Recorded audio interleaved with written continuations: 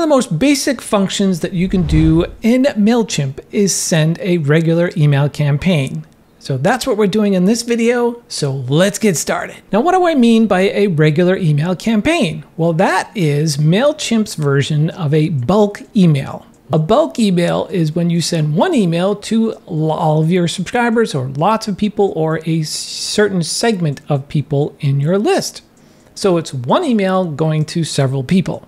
That's a bulk email. All right, enough with the jargon let's get going on how we're actually going to accomplish this. So as we log into our MailChimp account here, we're going to be looking at the create button on the top left hand side. When you click on that create button, MailChimp made it very confusing all of a sudden. So what you need to do is click on where it says email, click inside there, and then you have more choices. You have regular, plain text, multivariate, and template. We're looking at regular. So let's click on regular. Then we're going to give it an internal name. This is something that only you will see. So you want to name it something that you will know once you see it in reports or you see it in the past, in the history of your emails, that you'll recognize the content that was in that email. So our internal email name will be Better Biz Email for July 12th. Let's click on Begin. So from the left-hand side, we'll click on Two. We're going to click on Add Recipients. I'm going to select my test audience. In the Send To option, here's where we can further define our audience and select the segment. By segmenting out your larger audience, you make sure you're targeting the right people for your campaign to increase engagement and conversions. So we're to click on the welcome tag. Once we have our segment selected, we also have an optional do not send to. So you could use that to further define who's going to get this email. Our next option is to personalize the send to field. I really recommend this because it's always a good idea to address your subscribers by their names. This simple gesture makes them feel valued and appreciated and it shows that you care about building a strong relationship with them. So select that and we'll do first name. Click save. Now MailChimp will go through that and it will say, okay, here's who I have. I have one recipient that's going to receive this and it's going to be from my default email address. We can change that if you want to, like so. If the email you're putting in here is not verified yet, you'll have to go through that process first. And you'll get a little pop-up says, you know, hey, verify this email before we send something from it.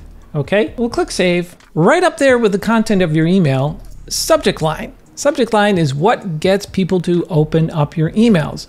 The subject line is your first impression, so make it compelling and relevant to your audience. Craft a subject line that grabs their attention and entices them to open your email. So we'll click on add a subject. So we'll put that in there and MailChimp will give you recommendations based on what you've inputted here. And the second most important thing besides the subject line is the preview text. The preview text appears right alongside or right below the inbox, depending if you're on mobile or desktop. And so they'll see the subject line, and then you want to make it even more enhancing that they click open your email by adding in a preview text. And we'll click save. When then we're going to get into designing our fabulous email. So let's click design email. MailChimp up front says, hey, select a template. So we're going to go into themes. I'm to select boutique. I think I like that one. And we'll change out some of the content and the colors. So let's make changes to this design. So I'm to go first, because I don't want that bright pink background. So I want to click on style, then click on page, and you'll see this background color is that lovely pink. Well, I want to change it to more of maybe perhaps a gray maybe a dark gray, something like that. Then inside our style, we want to go to the pre-header and do the same. Maybe we'll make that maybe an off blue, darker blue, like that. That's fine. Where it says Valentine's Day Bouquet Special, that is located in the header. So we're going to change that background as well, and we'll change it to that gray maybe a darker gray like that, and click Save. I know, very boring, but we're going for business here uh, versus uh, a pop of color. And then what I did was I went over to Canva and I created a couple of uh, email headers.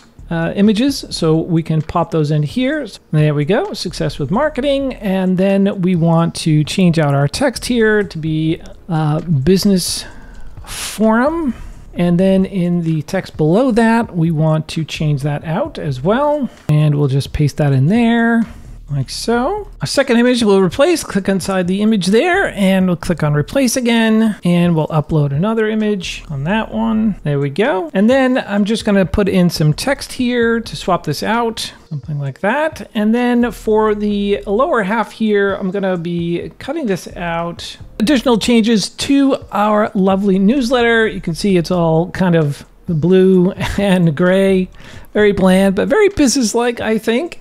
And so our call to action is clear and concise. It is register today for this business forum that's happening in September. And we're in preview mode right now and we're just taking a look at it. So it's in desktop and mobile. I do notice that my on mobile my image is very tiny.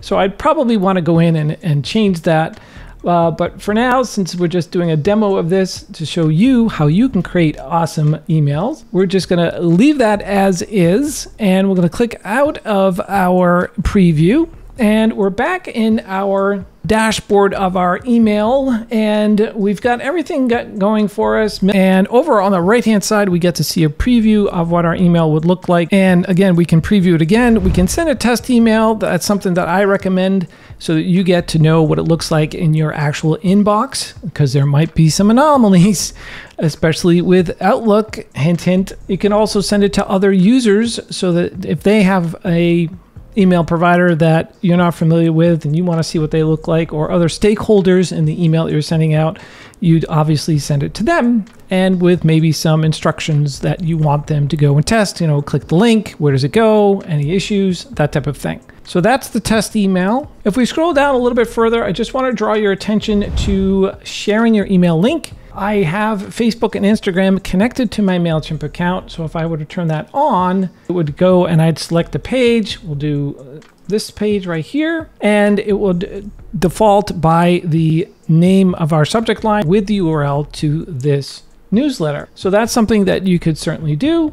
And I would recommend adding in an image so that it shows up on social. I'm going to cancel that for now. And then the other option that I would recommend is tracking. And by default, MailChimp does the tracking options. They do track opens, track clicks, e-commerce link tracking if you have an e-commerce store connected to your MailChimp account, such as I do, and also Google Analytics link tracking. You want to name the, the Google Analytics link tracking something more descriptive than email campaign that was sent on this date. So in this case, I'd probably want to do business forum registration and maybe the date. And maybe if it was a stakeholder, I'd say what business it was, but something a little bit more descriptive than email campaign. Click save. So we can just do a review here on the dashboard of our email campaign. And we've got our subject line, we've got our to, we've got our from, we've got our send time. There's an option there to either schedule it because I'm on a paid plan or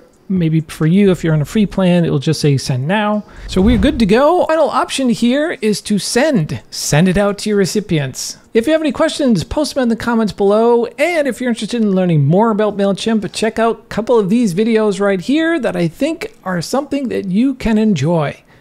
Thanks, take care, and I'll see you in the next video.